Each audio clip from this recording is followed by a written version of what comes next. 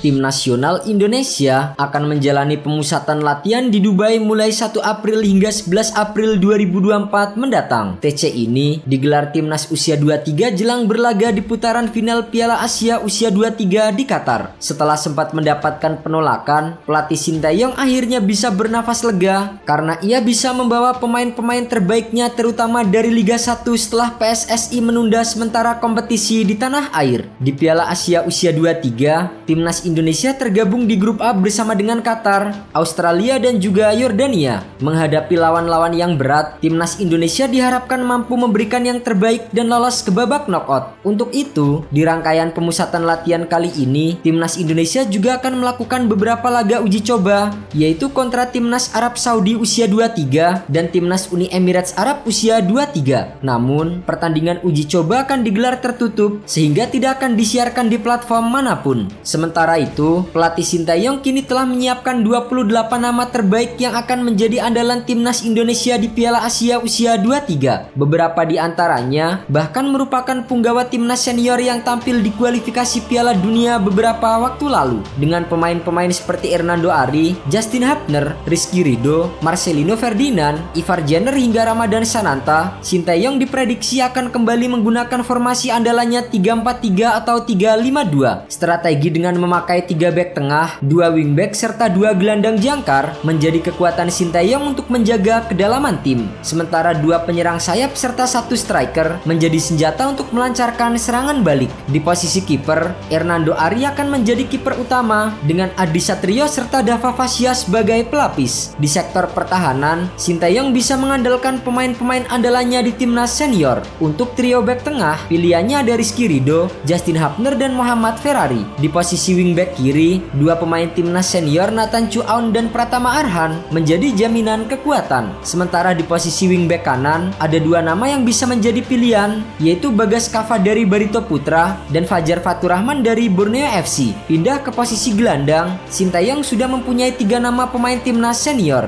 Mereka adalah gelandang Arkan Fikri, Marcelino Ferdinand, dan Ivar Jenner. Sektor penyerang sayap, Sintayong sudah memiliki Rafael Strike dan Witan Sulaiman. Dan dua pemain depan dipastikan tetap diisi Ramadan Sananta dan Hoki Caraka yang memperkuat timnas di kualifikasi Piala Dunia 2026. Dengan formasi 352, tim Garuda Muda yang bermaterikan generasi emas Sintayong akan menjadi ancaman bagi tim-tim kuat di Piala Asia usia 23 2024. Untuk memuluskan pembentukan timnas usia 23 di Piala Asia 2024 ini, PSSI pun sudah memutuskan untuk menunda Liga 1 2023-2024. Dengan demikian, pemain-pemain yang dipanggil timnas usia 23 tidak lagi terbentur oleh klub-klub Liga 1. Timnas Indonesia usia 23 akan bertemu Qatar di pertandingan pertama pada hari Senin 15 April 2024. Kemudian melawan Australia pada 18 April dan dilanjutkan menghadapi Yordania di pertandingan ketiga pada 21 April 2024 mendatang. Selain lolos dari fase grup, timnas Indonesia juga ditargetkan bisa masuk empat besar demi bisa merebut jatah satu tiket ke Olimpiade Paris 2024.